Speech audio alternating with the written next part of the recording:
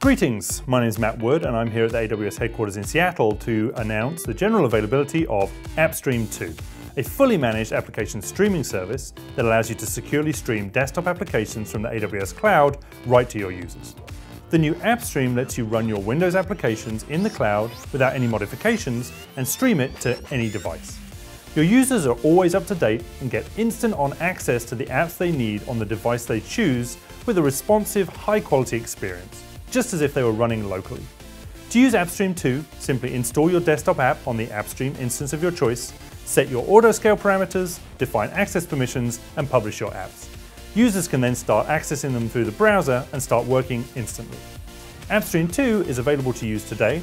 You can try it out from the AWS Management Console or take it for a test drive on the AWS website. Thanks a lot.